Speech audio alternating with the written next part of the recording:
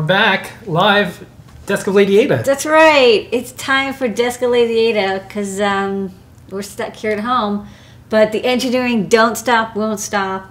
We're doing electronics every day, and now also PPE manufacturing That's and import. So uh, at night um, or early mornings, we are at the factory shipping essential electronics for things like ventilators, for things like medical devices. We're also making PPE for face shields. Yeah. We have uh, made sure we made our services available. We got deemed an essential service. We do manufacturing, artsy, logistical service, and engineering. We are helping and trying to do everything we can to fight COVID. This is cute, uh, adorable little toxic. terrible. virus. This is a jerk that's ruining everyone's good times. I know. So wash your hands. Wash your hands. Um, if you want, you can ask us questions. Adafruit.it slash Discord. Join the 17,000 of us. Um, but that is what we are doing. And right now, it is time for some Desk of Lady Ada. The last time we did one was about a year ago. And so, uh, since a lot of people have some time at home and uh, they're looking for unique, cool programming online, here it is. Yeah, I mean it's it's not video gaming, so it's a little bit of a different uh, type of stream. We do streams, cover software, hardware, firmware, electronics. You're going to design a full engineering. board on the you know one of the next shows. We're going to do Yeah, things. sure. Yeah, you're going to hear about our new products as Lady Ada designs them. And since we're in the middle of a global pandemic, you'll also things like uh, you'll see things like the um, UVC. We're going to do a UVC board, for instance. So Yeah. let's uh, let's get it started on uh, what are we going to show tonight? Okay, so tonight, why don't you go to my compy screens, try that out.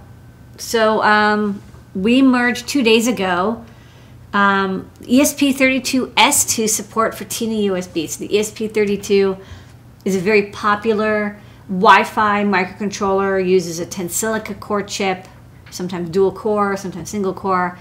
And what's nice about it, it has Wi-Fi built in. It also has Bluetooth built in, and uh, it's really cheap. It's really inexpensive, and it works really well. So it's been a disruptive uh, force in the uh, embedded microcontroller wireless market. Basically, made it from you know taking it from twenty dollars per Wi-Fi module to two dollars, and they've come up with a couple different versions since the first one, the E ESP8266. They had the E ESP32, and then a couple versions of the E ESP32, and now uh, they have the ESP32S2, which is a, a new silicon chip. And one of the neat things about this chip is that it comes with native USB, something that I've really wanted for quite a while because it unlocks a lot of capability.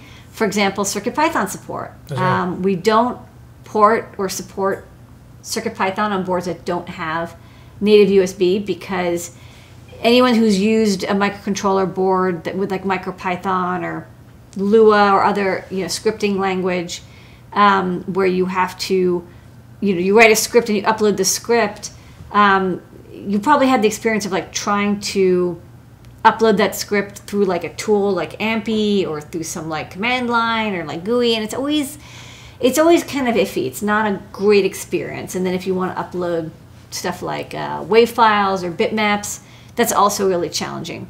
But if you have native USB, you can have your microcontroller act like a disk drive, like a USB key. Uh, that's called mass storage. And it can also act like a USB MIDI device. It can do music, yay! Or HID, which means it can act like a keyboard or a mouse or a joystick or a game controller. You can do assistive technology with it. So it, native USB is a really powerful peripheral. I really, and it's also one of the ones where it's like if your microcontroller doesn't have PWM, you can get a PWM chip. If your microcontroller doesn't have analog inputs or outputs, you can get a DAC or an ADC chip. You throw it on SPI. You, you can pretty much get the data you want. But either you have native USB or you don't. Uh, and if you don't, there's there's chips that can sort of do USB interface, but they really kind of suck. It's never a good experience, uh, in my opinion. So native USB is where it's at. So these are very new. We got some engineering samples of the E ESP32 eval boards. Let's look at the over the overhead. That's right. And see, I can uh, it's that's bigger than actual size, but let's uh, let's go to the real overhead. Yeah. so this is the module. Um, and you can get these at digikey.com. Uh, they're pre-release, so sign up. They're going to be. I mean, of course, everything is delayed right now, but uh, as soon as they're available, Um, and I'll show on, on the over on the uh, computer the Yeah. how to find the DigiKey part number. Special thanks to DigiKey for helping us out during COVID and getting some electronics out to a lot of people. If we don't have something we can ship to you, make sure you check DigiKey. Yes, very fast shipping. I still buy stuff from DigiKey too. It's like I get my samples. Yep. Um, so this is the uh, Wi-Fi module, and you'll notice it has a regulator here. It's kind of your classic SOT two two three regulator. It's got a um, SiLabs CP 2102 2104. You know, one of my favorite USB serial converters. Really solid converter. Goes really fast, um, high speed. Um, NeoPixel, a reset LED and a boot LED. Uh, sorry, a reset button and, and a boot button, and uh, either a power LED or signal LED or something. Um, the reason you're like, well, if it has native USB, why do you have this serial port? Well, this is actually a debug port. So you can upload code through the serial interface just like in normal E ESP32. Also, it has the debug output.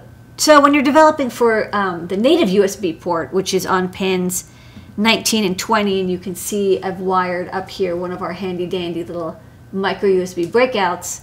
Um, I just connected ground, D minus and D plus directly. You can still, uh, you can have this connected to do your debugging, to do your uploading while you have the native USB connected. So let's actually uh, try uploading one of the examples from the Tiny USB ESP32 uh, merge. Thanks to um, igrr, I can't remember his name, Ivan, uh, William, uh, Sprite TM, and Nathan, who have all helped out with this pull request. Um, thankfully, the E ESP32 S2 USB core is uh, it- it's based on or is a Synopsys core, which we already supported for the ES, uh, for the STM32. So thankfully, like things kind of just sort of worked out once we once we figured out a few bugs. Um, so it's merge. You'll have to install the um, ESP IDF. So um, decided to make the way you program the ESP chips. You basically have to install their development framework, and it's actually a really easy to use framework once you've installed it. And you've got make files, and um, it really improved it a lot. Like this was extremely easy to set up on Windows.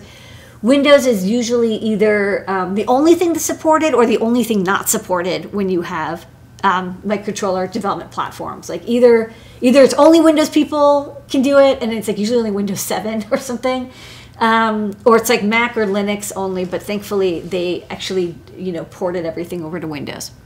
So um, I'm here in, uh, I forked the TinyUSB repo, and here's the example. Um, it's CDC MSC, so that's CDC, that's um, um, serial port USB. MSC is mass storage, and FreeRTOS, that's the um, R- RTOS is the FreeRTOS is the real-time operating system that runs the the thread of execution for the E ESP32 S2. And um, when you install the IDF, it actually gives you some um, scripts uh, like idf.py. And you just give it some commands like build and flash. And um, I just built this, so you're not going to see the whole build process. It takes about a minute or two, but you will see um, the upload process. So now that I've uploaded to it, I can. Uh, I'm going to just use. Actually, well, sorry. I'm going to go to my device manager. Okay, so um, I've got the uh, CP2103, that's the debug port, remember? So I'm going to open that up here in PuTTY.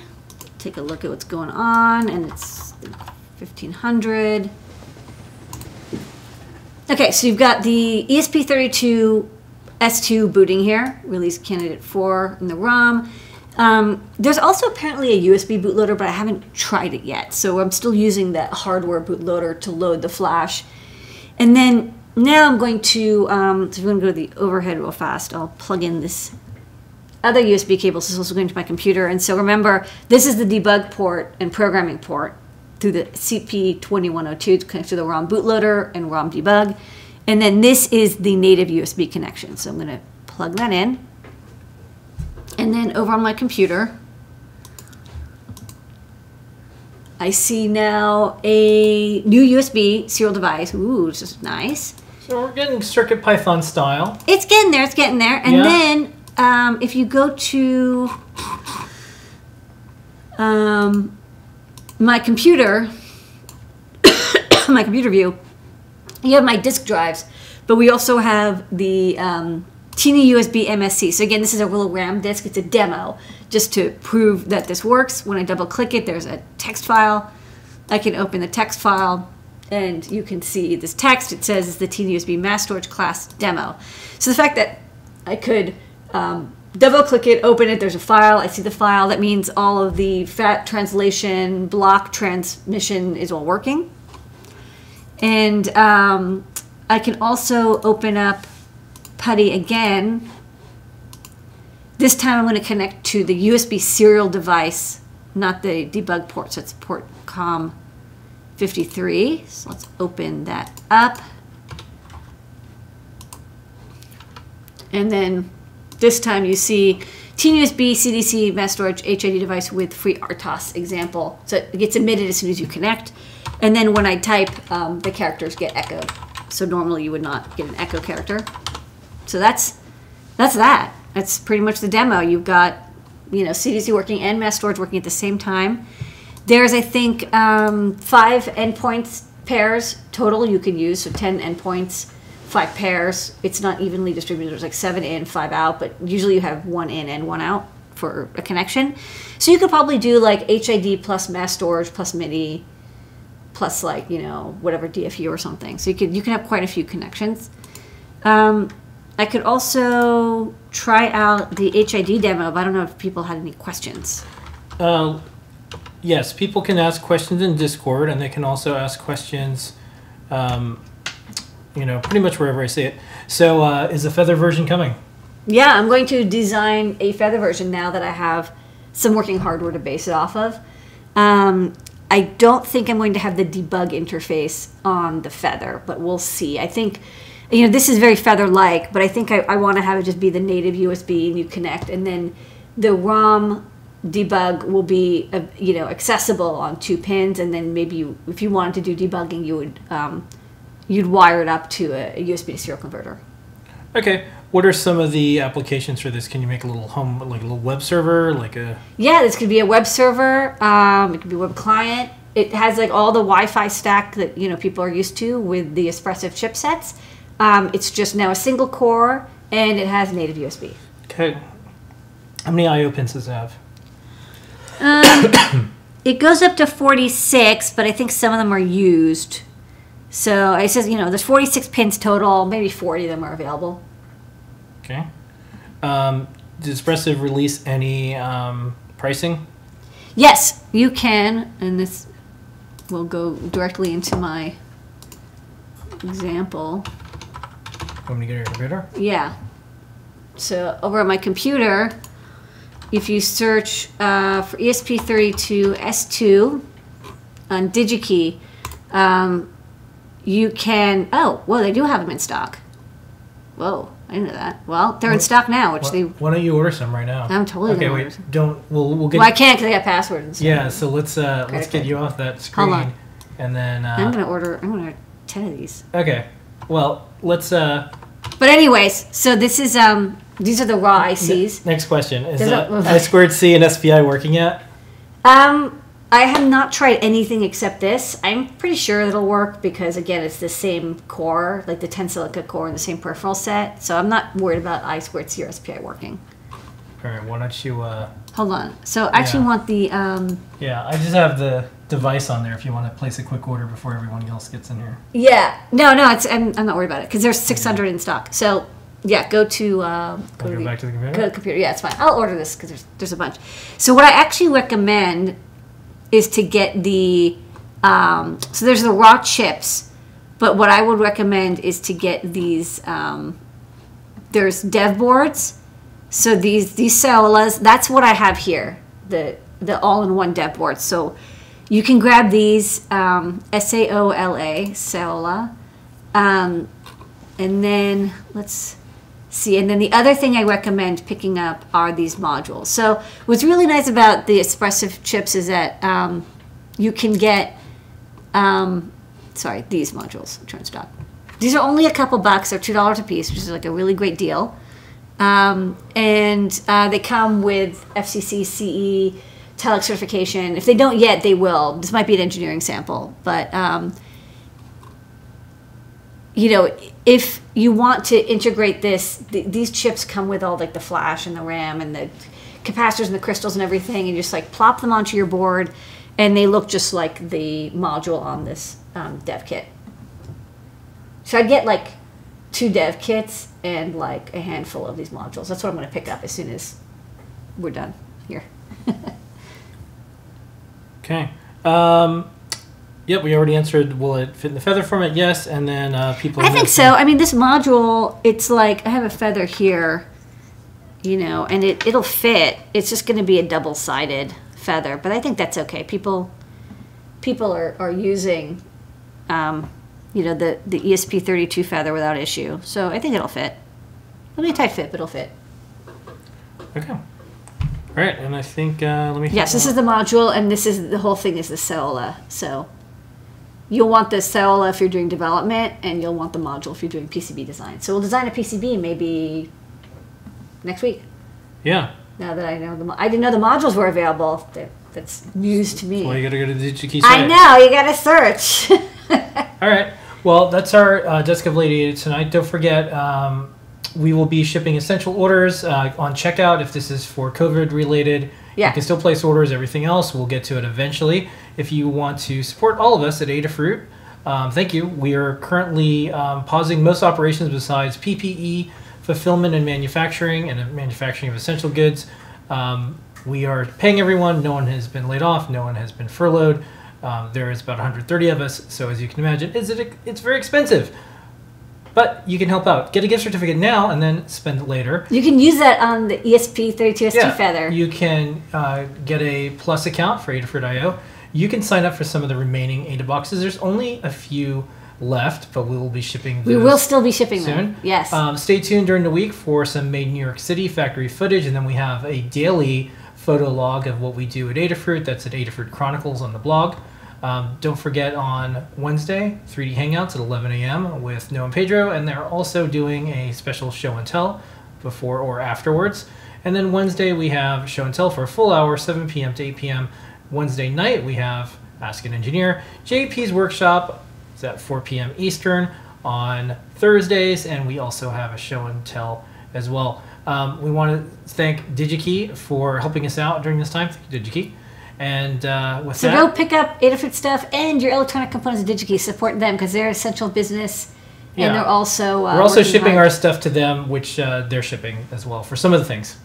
So that's Desk of Lady Ada. Thanks, everybody. See you soon. Hope you enjoyed.